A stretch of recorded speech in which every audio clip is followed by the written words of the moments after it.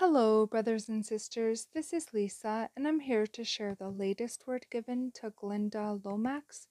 The title is Stay on the Path, and this word was posted March 16th, 2023.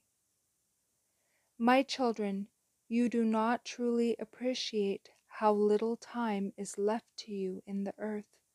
Do not think as the world thinks, that I am not coming back soon do you not see the signs all around you of my soon return? Do you not feel the judgments coming? Do not let your guards down and run out to play, children, for the enemy desires this would be your undoing. He desires to have your souls to torment you for all eternity. You have an eternity in light here with me if you stay on the path of righteousness. But if you fall to temptation, your eternity will be in darkness forevermore. And that is the end of this message. I pray you all have a beautiful day in the Lord.